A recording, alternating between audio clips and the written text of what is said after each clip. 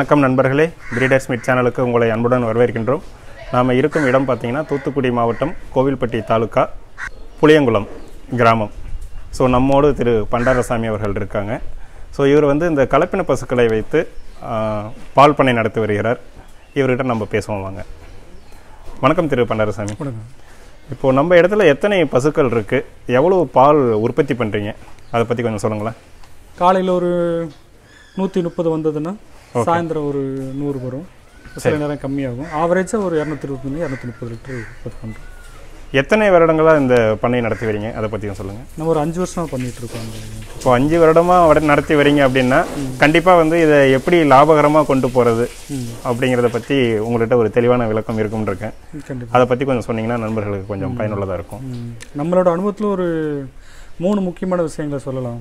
பால் பண்ணை நடத்துறதை பற்றி முதல்ல வந்து மாடுகளை தேர்வு பண்ணுறது நம்மகிட்ட இருக்கிற மாடுங்க வந்து ஒரு ஆவரேஜாக ஒரு நாளைக்கு ஒரு பதினஞ்சு லிட்டரு கறவை உள்ள மாடுங்க. அதாவது பீக் மில்க் ஈல்டு இருக்கும்போது ஒரு பதினஞ்சு லிட்டர்லேருந்து இருபது லிட்டர் வரைக்கும் கறக்கிற கெப்பாசிட்டி உள்ள மாடுங்களை நம்ம செலக்ட் பண்ணுறது அப்படி இருந்து அது ரொம்ப உபயோகமாக இருந்தது.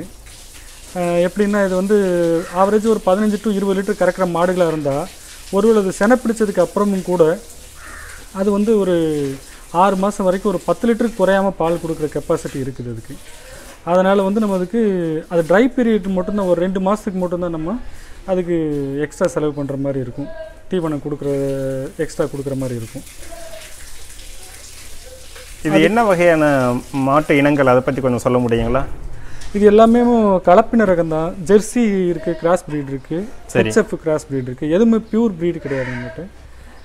எல்லாமே கலப்பின ரகம் இருக்குது எதனால் பியூர் பிரீடு நீங்கள் தேர்ந்தெடுக்கலீங்க? ஏன்னா பியூர் பிரீடில் தானே நல்ல பாலினுடைய அளவு வரும்னு சொல்லுவாங்க. நீங்கள் சொல்கிற மாதிரி பியூர் ப்ரீடில் வந்து கண்டிப்பாக மில்க் ஈல்டு அதிகமாக இருக்கும். இப்போ ஹெச்எஃப் பியூர் ப்ரீட்லாம் எடுத்துக்கிட்டிங்கன்னா எங்களோட கிளைமேட்டுக்கு வந்து அது அவ- அவ்வளோ சரியானதாக இல்லை. நிறைய கம்ப்ளைண்ட் வருது. அடிக்கடி வந்து நிறைய வெயிலுக்கு வந்து தாங்க மாட்டேங்குது. இளைக்குது. வானீர் வெடிக்குது. அப்புறம் அடிக்கடி காய்ச்சல் வருது செய்யுது அதுவும் போக அந்த அளவுக்கு மில்க் ஈல்டு வந்து எங்கள் இடத்துல இதில் இந்த பிரச்சனைகள்லாம் இருக்கிறதால எங்களுக்கு அந்த மாதிரி மில்க் ஈல்டு எடுக்க முடியறதில்ல. இப்போ நீங்களே அந்த இந்த கொடைக்கானல் சைடு கோயம்புத்தூர் ஊட்டி அந்த பக்கம் உள்ள மாடுங்கள்லாம் சாதாரணமாக ஒரு இருபத்தஞ்சு லிட்டர் முப்பது லிட்டர் கறக்கிற மாடுகள்லாம் நிறைய இருக்கும். அந்த மாடுகளை நம்ம இங்கே கொண்டு வந்தோம்னா ட்ரை பண்ணி பார்த்தோம் முதல்ல ஒரு ஆர்வத்தில் பண்ணி பார்த்தோம். அது அந்த அளவுக்கு நல்ல ரிசல்ட் கொடுக்கல.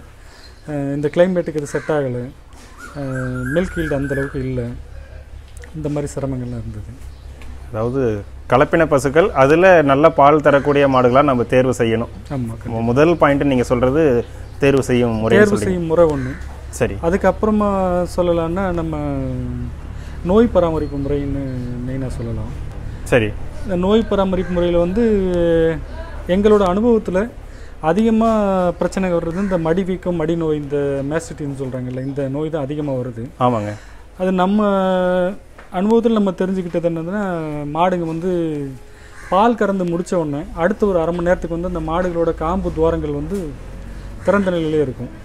அது வந்து மாடு பால் கறந்து முடித்த உடனே ஒரு சோர்வாக இருக்குன்னு சொல்லி மாடு கீழே படுக்கும்போது சாணத்தில் படுத்த செஞ்சு அந்த காம்பு துவாரங்கள் வழியாக வந்து கிருமிகள்லாம் உட்புகுந்து அது வந்து பாலை கெட்டு போக செய்து மடி வீக்கம் வரும்.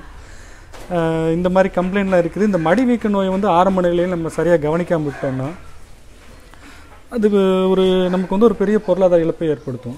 அந்த எந்த காம்பில் அந்த ப்ராப்ளம் வந்திருக்குதோ அந்த காம்பு நம்ம சரியாக கவனிக்காம விட்டோம்னா அடுத்த இடத்துல அந்த காம்பில் பாலே வராமல் போயிடும். அது ஒரு வகையில் இழப்பு. அப்புறம் வந்து உடனடியே அந்த மடிவீக்க நோய் வந்தோடனே மடிநோய் நோய் வந்தோடனேமும் பால் வந்து கண்டிப்பாக ட்ராப் ஆகும். ஒரு இருபது லிட்டர் கறக்கிற மாடுனா கண்டிப்பாக ஒரு பத்து லிட்டரு கூட வந்துடும் அதை திரும்ப சரி பண்ணி கொண்டு வர்றது ரொம்ப டைம் ஆகும். அந்த டைம்லலாம் நமக்கு பொருளாதார இழப்பு இருக்கும்.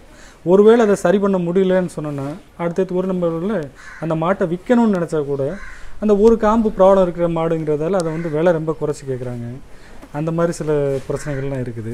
இதுக்கு நம்ம ஃபாலோ பண்ணுற மெத்தட் என்னென்னா இப்போ இந்த மாடுகள் எல்லாம் பால் கறந்து முடித்த உடனேயுமே அது மாடுக பால் கீழே படுக்காமல் இருக்கிறதுக்காக நம்ம உடனே அதுகளுக்கு மாடுகளுக்கு தீவனம் கொடுக்குறோம். அப்புறம் வந்து பொட்டாசியம் பெர்மாங்கனேட்னு சொல்லி நம்ம கால்நடை மருத்துவமனையிலேருந்து கொடுத்தாங்க. அதில் அந்த பொட்டாசியம் மேக்னேட்டில் தண்ணியில் மிக்ஸ் பண்ணி வச்சுட்டு மாடு பால் கறவை முடிஞ்ச உடனேமும் நம்ம அந்த காம்புகளில் வந்து அதை தெளித்து விடுறோம். அந்த பொட்டாசியம் தெளித்த உடனே அது நல்ல ரிசல்ட் இருக்குது.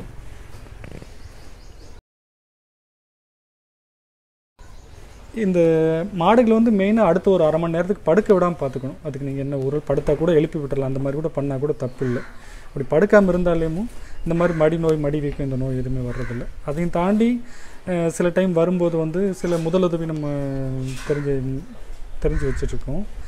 அது வந்து நம்ம எலுமிச்சம்பழம் சுண்ணாம்பு அப்புறம் இந்த கத்தாழை வெத்தலை மஞ்சள் இது எல்லாமே கலந்து அந்த மடி வீக்கம் இருக்கிற இடத்துல மடி அந்த மடி வந்து சூடாக இருக்கும்.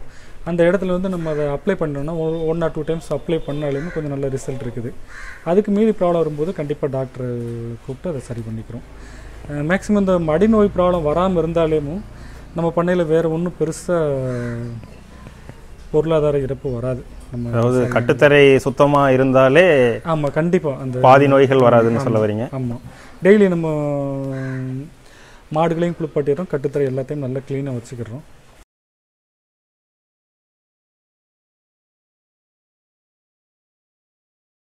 அதுக்கப்புறமா ஒரு இது பார்த்தோம்னா ஒரு வருஷத்துக்கு ஒரு கண்ணுக்குட்டி எடுக்கிறது ஒரு நல்ல அனுபவம் அது.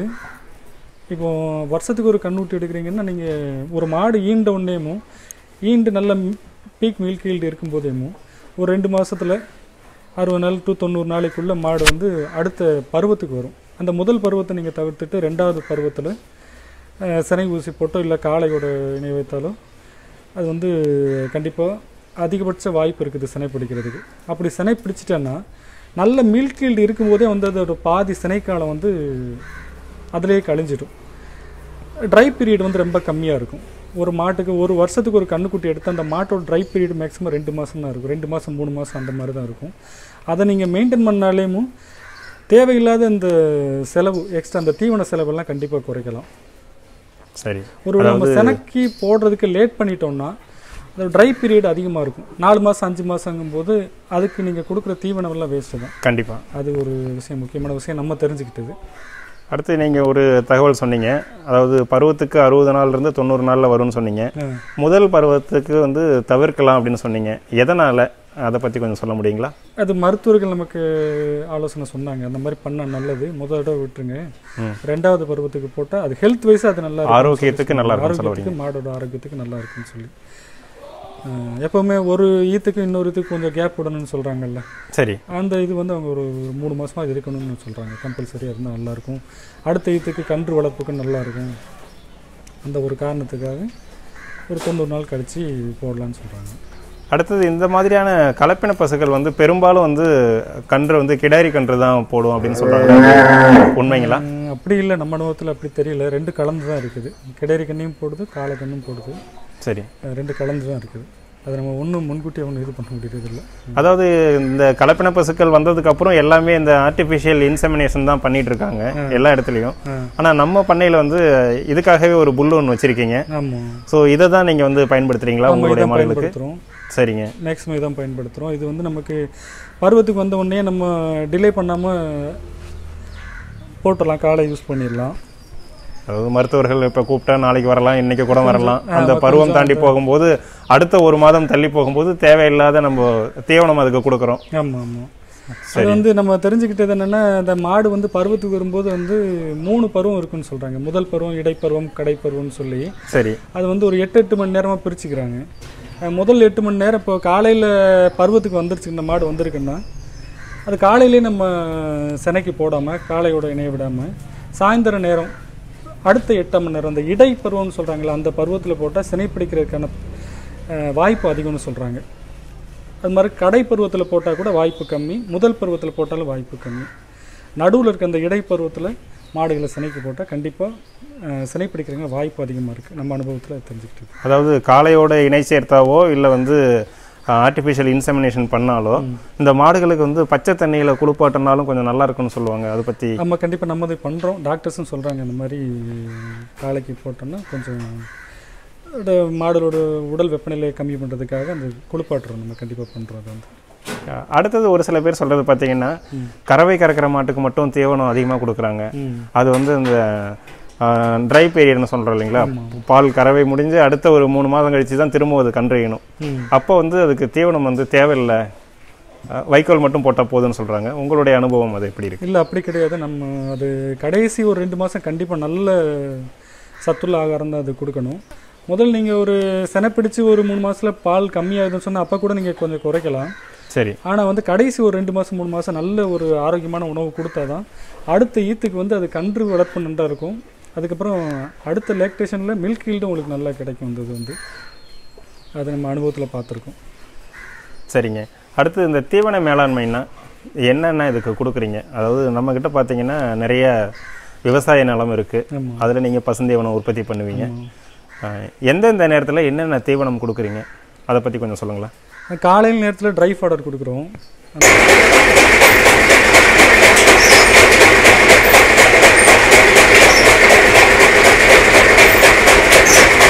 ஈவினிங் டைமில் சூப்பர் நெப்பேர் இந்த மாதிரி எல்லாம் போட்டிருக்கோம். இது இதெல்லாம் கொஞ்சம் ஈவினிங் டைம் கொடுக்குறோம். கடைசி கொஞ்ச நாளாக கொடுக்க முடியறதில்ல. கொஞ்சம் அந்த மழை சரியில்லாததால் சரி. நம்ம போட்டு வச்சிருந்த சூப்பர் நெப்பேர்லேருந்து கூட நமக்கு ப்ராப்பர் ஈல்டு கிடைக்கல. அதனால் பசுந்தீவனம் கொஞ்சம் கம்மியாக தான் கிடச்சிட்ருக்கு இப்போ மாடுகளுக்கு. அதுவும் போக அடர்த்தீவனம்னு சொல்லி ரெண்டு நேரமும் தண்ணிக்கு விடும்போது இந்த பாசி போட்டு நெல் தவிடு நெல் தவிடு கோதுமை தவிடு நெல் தவிடு நல்ல ஜீரணத்துக்கு நல்லதுன்னு சொல்கிறாங்க அதனால் நெல் தவிடு யூஸ் பண்ணுறோம் அப்புறம் கம்பெனி தீவனம் கொஞ்சம் யூஸ் பண்ணுறோம் கேஎஸ் குச்சி பண்ணாக்கு இந்த பெல்லட் யூஸ் பண்ணிகிட்ருக்கோம் இந்த மூணு தான் மெயினாக யூஸ் பண்ணுறோம் சனி மாடுகளுக்கு கடைசி ரெண்டு மாசத்துல பருத்தி விதை நல்லா கொடுத்துட்ருக்கோம் சரிங்க. அதாவது நம்ம பண்ணையில் இப்போ வந்து முப்பது மாடுகள் இருக்குன்னா எத்தனை மாடுகள் வந்து கறவையில் இருக்கின்றன? எத்தனை வந்து சினையில் இருக்குது எந்த ரேஷியோவில் இருந்தால் இந்த பண்ணை இன்னும் லாபகரமாக இருக்கும்? அதை பற்றி கொஞ்சம் சொல்லுங்களேன். கண்டிப்பாக நமக்கு இந்த முப்பது மாடுகள் வந்து இப்போ ஒரு கறவையில் ஒரு இருபது மாடுங்க இருக்குது.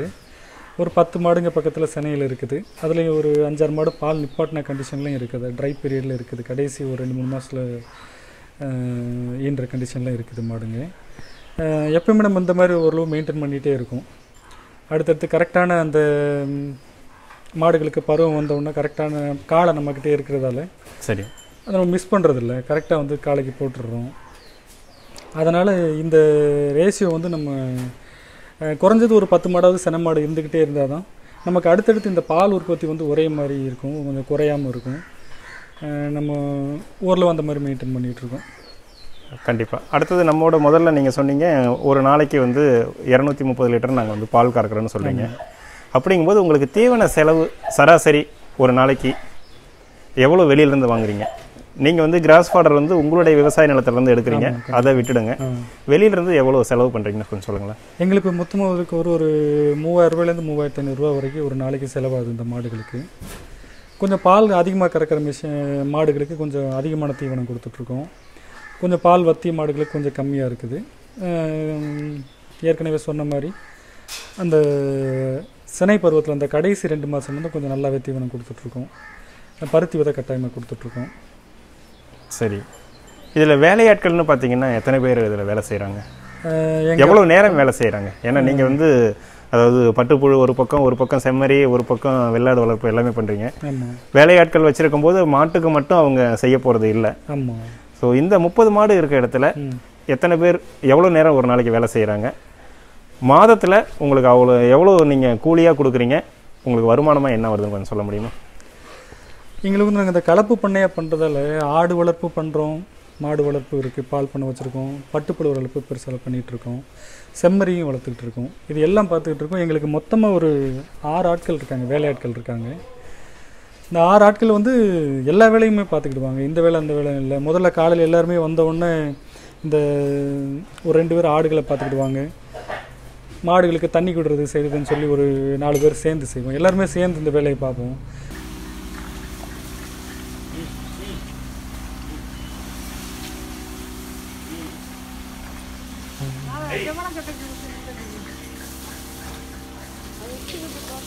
பார்த்து முடிச்சோடனே எல்லாருமே ஒன்று சேர்ந்து இந்த பட்டுப்புழு வளர்ப்பு சம்மந்தமான வேலைகள் அது என்ன இருந்தாலும் எல்லாரும் சேர்ந்து பார்ப்போம்.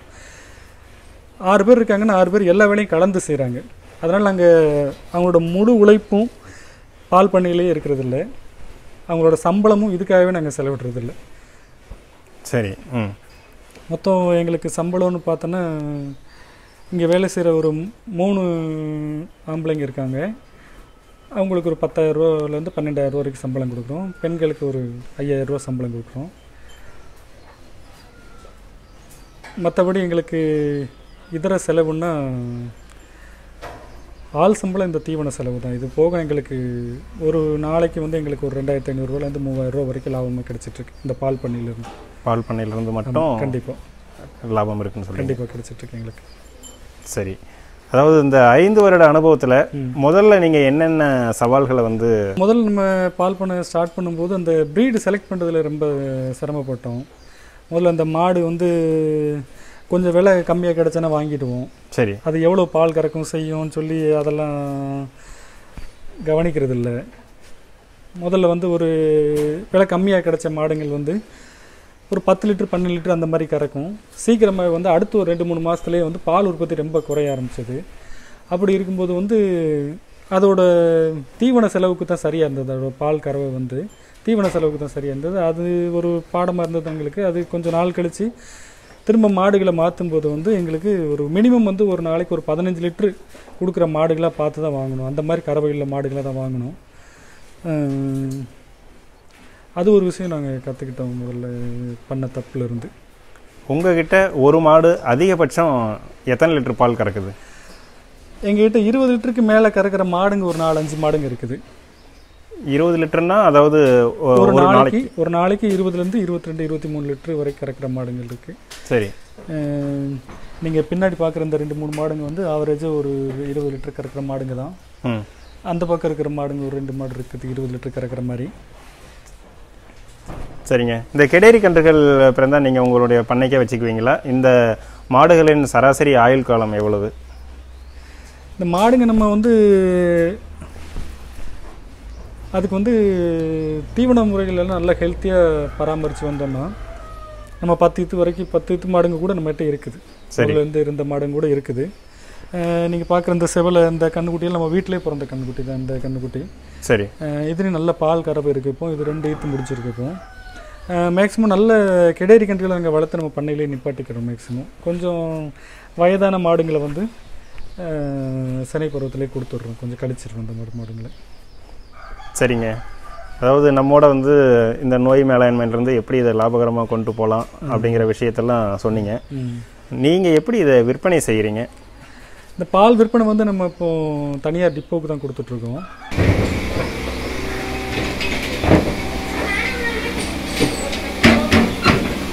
முதல்ல வந்து எங்கள் பக்கத்தில் இருக்க டவுன் கோவில்பட்டிக்கு எல்லா பாலையும் அங்கே தான் கொண்டு போய் சேல் பண்ணிகிட்டு இருந்தோம். கடைகளுக்கு கொடுத்துட்ருந்தோம் ரெண்டு மூணு கஸ்டமர்ஸுக்கு பெரிய கஸ்டமர் கொடுத்துட்ருந்தோம் அதில் கொஞ்சம் நடைமுறை சிக்கல் இருந்தது.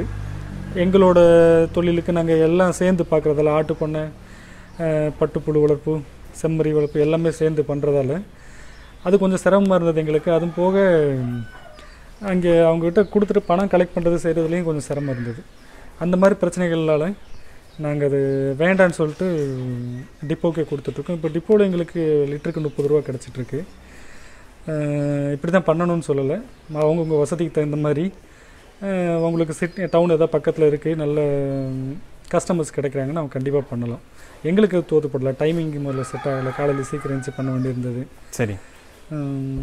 அதில் கொஞ்சம் சிரமங்கள் இருந்ததால் அதை தவிர்த்துட்டோம். அதை நிப்பாட்டிட்டோம் அந்த மாதிரி பண்ணுறது இப்போது நம்மகிட்ட இருக்க இட வசதிக்கு ம். இன்னும் ஒரு முப்பது மாடு வைத்து அதை பராமரிக்கிற அளவுக்கு உங்களுக்கு இருக்கு. இட வசதி இருக்கு. இந்த முப்பது மாடுகளோட நிறுத்திட்டீங்க என்ன காரணம்னு? முப்பது மாடுகள் நம்ம எங்கிட்ட ஒரு ஐம்பது மாடுகள் வரைக்கும் இருந்தது. அதாவது எந்த தொழிலா இருந்தாலும் நம்ம வந்து ஒரு வணிக ரீதியாக தான் நம்ம கண்டிப்பாக வருமானத்தை நோக்கி தான் நம்ம ஆமாம் அப்படிங்கும்போது இதை அதிகப்படுத்தும் போது இன்னும் நமக்கு லாபகரமா இருக்கும் இல்லைங்களா? கண்டிப்பாக இருக்கும். நல்லா எங்களுக்கு எங்கிட்ட இதுக்கு முன்னாடி ஐம்பது மாடு வரைக்கும் இருந்தது. நிறைய பால் உற்பத்தி இருந்தது. ஒரு நாளைக்கு ஒரு நானூறு லிட்டரு நானூற்றம்பது லிட்டர் வரை கூட போயிட்டு இருந்தது. கோல்பட்டிக்கு போகும்போது போயிட்டு இருந்தது. அப்புறம் வந்து கடைசி ஒரு ரெண்டு மூணு வருஷமாகவே எங்களுக்கு இங்கே மழைப்பொழிவு அந்த அளவுக்கு சொல்லிக்கிற மாதிரி இல்லை. நம்ம மாவட்டத்துலேயும். ரொம்ப கம்மியான மழைப்பொழிவு தீவனத்துக்கு நிறைய பற்றாக்குறை. பசுந்தீவனங்கள் வந்து மழை பெஞ்சு வர்றது மாதிரி நம்ம கிணத்து தண்ணி பாஞ்சு வர்றதில்ல. மழை பெஞ்சு வந்து ரொம்ப நல்லா செழிப்பாக வருது. சீக்கிரம் வளரும். பசுந்தீவனங்களுக்கு ரொம்ப தட்டுப்பாடு ஏற்பட்டது. அது மாதிரி போன வருஷமும் சரியாக மழைப்பொழிவு இல்லாதால இந்த காஞ்ச நாற்று சோளத்தட்டை இதுவுமே ரொம்ப டிமாண்ட் ஆகிடுச்சு அதனால் கொஞ்சம் மாடுகளை குறைச்சிக்கிடுவோமேன்னு குறைச்சிக்கிட்டோம். இல்லைன்னா இது எங்களுக்கு இன்னும் ஒரு இன்ட்ரெஸ்ட் இருக்குது இன்னும் அதிகமாக பண்ணணும்னு ஒரு இன்ட்ரெஸ்ட் இருக்குது நல்ல மழைப்பு மழைப்பொழிவு நல்லா இருந்ததுன்னா கண்டிப்பாக அதிகமாக பண்ணுவோம். நல்ல எங்களுக்கு ஒரு லாபகரமான தொழிலாக தான் இருக்குது. சரிங்க. இந்த பால் பண்ணையில் நீங்கள் வந்து பார்த்தீங்கன்னா இந்த மாவு அரைக்கும் இயந்திரம் ஒன்று வச்சுருக்கீங்க. அடுத்தது வந்து கறவை இயந்திரம் வச்சுருக்கிறீங்க சாஃப் கட்டர் வச்சுருக்கீங்க. இதை மூணு தவிர வேறு ஏதாவது வச்சுருக்கீங்களா? இல்லை வேறு மிஷின் எதுவும் இல்லை. இது மூணு. அப்புறங்க இந்த பால் பண்ணையில் வந்து இந்த கறவை இயந்திரம் அவசியமா? அதை பற்றி கொஞ்சம் சொல்லுங்கள் அடுத்தது நிறைய பேர் என்ன சொல்கிறாங்கன்னா மிஷினை போடும்போது அது பால் வருதா இல்லையான்னு தெரியாது. அதில் இருக்கிற ரத்தமும் வந்துடும் அப்படிலாம் சொல்கிறாங்க சமூக வலைத்தளத்தில். இதை பற்றி நீங்கள் கொஞ்சம் சொல்லுங்கள் இது வந்து முற்றிலும் தவறான கருத்துன்னு தான் சொல்லுவேன். நம்ம கிட்டத்தட்ட ஒரு நாலு வருஷமாகவே இந்த பால் கறக்கும் இயந்திரம் வச்சு தான் பால் கறந்துட்ருக்கோம் இதில் ஒரு மெயின் அட்வான்டேஜ் என்னென்னா நீங்கள் யாரையும் டிபெண்ட் பண்ணியிருக்க வேண்டாம். கறவைக்காரர் யாரையும் டிபெண்ட் பண்ணியிருக்க வேண்டாம். கண்டிப்பாக நீங்கள் மெஷின் ஹேண்டில் பண்ணுறது எல்லாமே ரொம்ப சிம்பிள் அண்டு ஈஸி தான். நம்மளே இதை ஈஸியாக யூஸ் பண்ணிக்கலாம். எங்கள் பண்ணையில் உள்ள எல்லாருமே இந்த மிஷின் யூஸ் பண்ண பழகிக்கிட்டாங்க.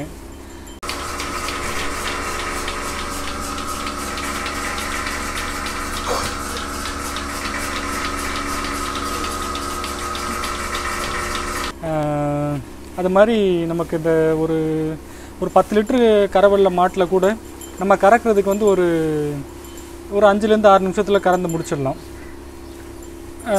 ஆள் கறக்கிறதுக்கும் மெஷின் கறக்கிறதுக்கும் கண்டிப்பாக வித்தியாசம் இருக்குது. முதல்ல ஒரு விஷயம் வந்து ரொம்ப ஹைஜீனிக்காக இருக்கும் மெஷினில் கறக்கிறது வந்து. இன்னொன்று வந்து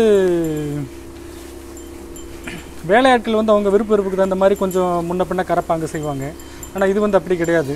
நாலு கம்பளை ஒரே மாதிரி ப்ரெஸ் பண்ணி செஞ்சு ஒரு சீக்கிரமாக பால் கறந்து ம், சரிங்க பால் வந்து கறந்து முடிஞ்சதுக்கப்புறம் அதுவே நின்றுடுங்களா இல்லை எப்படி? இல்லை நிற்காது அது கறந்துட்டே தான் இருக்கும். ஆனால் நீங்கள் சொல்கிற மாதிரி கண்டிப்பாக அது ரத்தம்லாம் கலந்து வராது அது. சரிங்க. அது சாதாரண வெப்பனா ஆள் கறந்தா கூட ஒரு பத்து லிட்டர் உள்ள மாடில் பத்து லிட்டர் கறந்து முடிச்சிட்டு சும்மா கறந்தா கூட அப்போ ரத்தம் வரணும்ல. அந்த மாதிரி எந்த ஒரு இது வரல இல்லை அப்போ மிஷின்லேயும் வராது கண்டிப்பாக நம்ம கறக்கிறத விட ரொம்ப அவ்வளோ சாஃப்டாக அது மிஷின் கறக்கும். ஒரே மாதிரி ஒரு ப்ரெஸ் பண்ணி செஞ்சு சரிங்க. அவ்வளோ ஈஸியாக இருக்கும். மாடுகளுக்கு நல்ல சுகமாக இருக்கும். கம்ஃபர்டபுளாக இருக்கும் அதுக்கு. சரிங்க. இந்த கறவை இயந்திரம் வந்து எங்கே வாங்குனீங்க? எந்த கம்பெனி உங்களுக்கு வந்து அதில் ஏதாவது பிரச்சனைகள் வருதா?